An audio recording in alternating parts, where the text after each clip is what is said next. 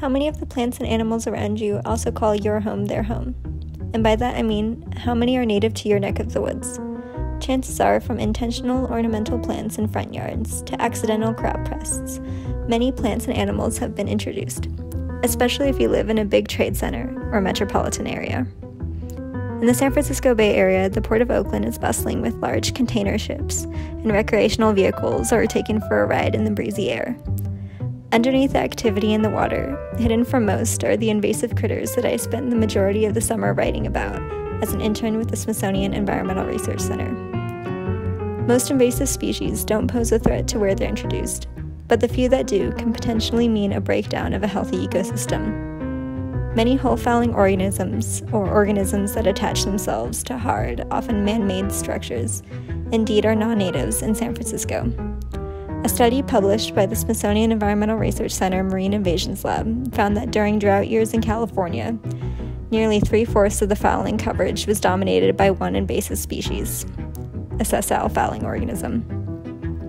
In addition to taking up space and resources from native species, they are also a major frustration to shipping to the shipping industry and recreational community alike.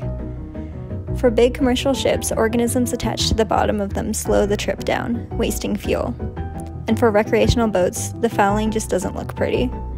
Boat owners will often hire divers to scrub the bottoms clean to keep their boats looking shipshape.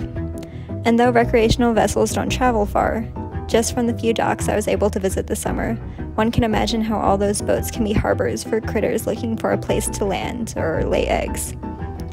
I was able to talk to scientists from the Smithsonian West Coast and East Coast campuses, management regulators, and even local members of the Berkeley Marina to report on research that affects stakeholders.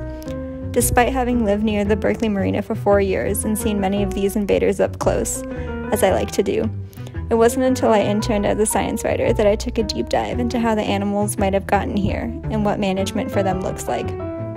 Though many of us aren't direct stakeholders when it comes to aquatic invasive species, our waterfront neighbors and the wildlife surrounding us are.